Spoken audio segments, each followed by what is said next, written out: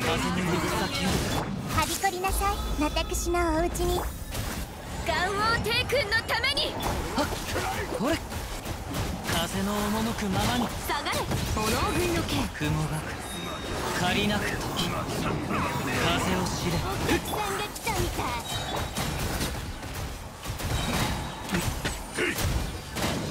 ふ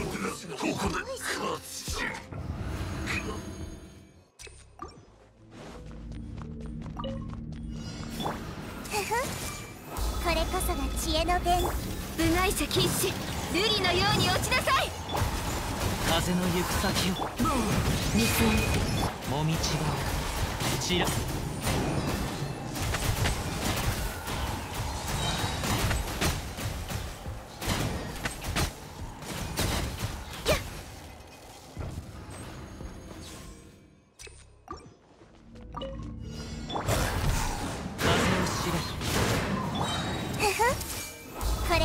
知恵の弁召喚化粧瑠璃のように落ちなさい。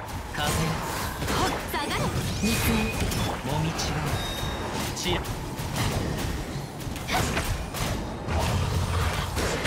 お触り禁止